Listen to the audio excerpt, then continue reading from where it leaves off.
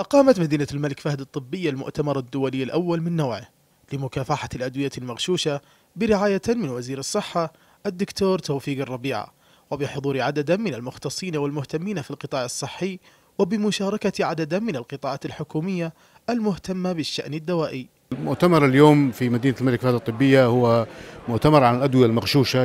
يوضح المؤتمر هذا مساوئ الأدوية المغشوشة سواء على على الصحة العامة على صحة الفرد على تطور علم الأدوية والعلاج.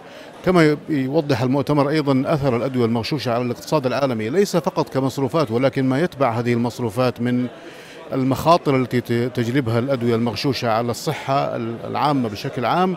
ويهدف هذا المؤتمر إلى مكافحة غش الأدوية بالتعاون مع القطاعات الحكومية ذات الصلة ممثلة في هيئة الغذاء والدواء ودورها الحقيقي في القضاء على هذه الظاهرة علما بأن المتوسط السنوي لمبيعات الأدوية المغشوشة في العالم يصل إلى 75 مليار دولار سنويا حيث يلقى مليون ونصف المليون شخص حتفهم سنويا نتيجة لتناول هذه الأدوية.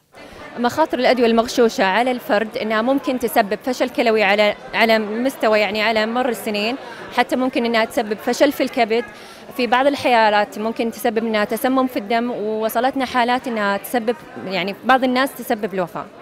ويستقطب المؤتمر عددا من المتحدثين من داخل المملكة وخارجها يمثلون مؤسسة محاربة غش الدواء ومنظمة الصحة العالمية.